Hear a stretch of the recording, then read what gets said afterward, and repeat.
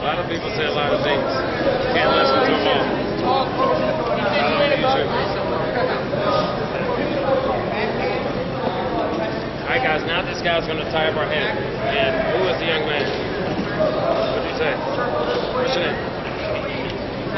Dale. Dale was like, hey, I ripped this Russian off. Boom. I did the Superman S on my chest. You know, I'm getting it nice and you know tall in the armpit and wrist on wrist right here. What if he gets head position? This is great, uh, great point because I always want to get head position. I don't want to give up head position in any aspect of wrestling. I always want to keep head position. But if this guy gets head position, it's not all over.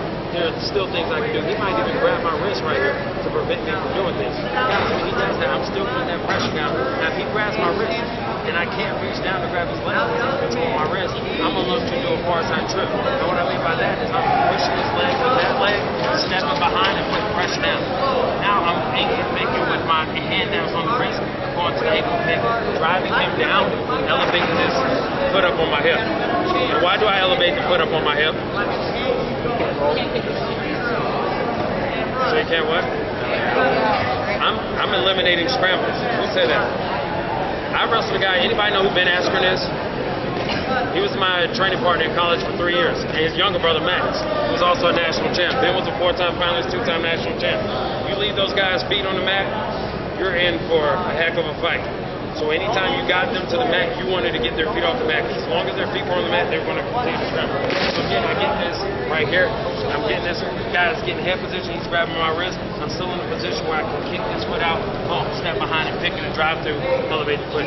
Not only that, if this guy's kicking that leg back, no, no, the near leg, if he's kicking that leg back, whether he's grabbing the wrist or not, I can start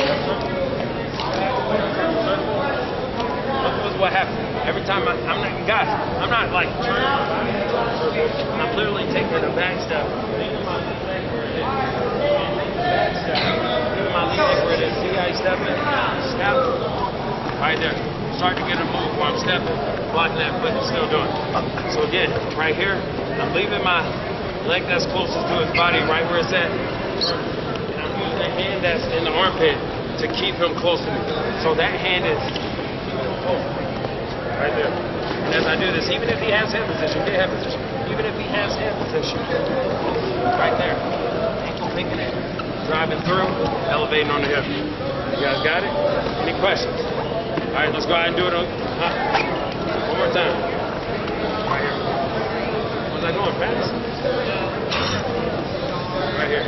So if he grabs my wrist and that foot is still forward, you know, because he feels comfortable. It's like, hey, I can have this foot forward because I control his wrist. I'm not worried about him grabbing my legs. He grabs my wrist. He's not worried. I'm kicking that leg a little bit, only enough so I can get to the far leg, so I can make it. Right there. Now he's leaving that foot back. Near foot back. Near foot back. I don't want to just reach here. I got to circle.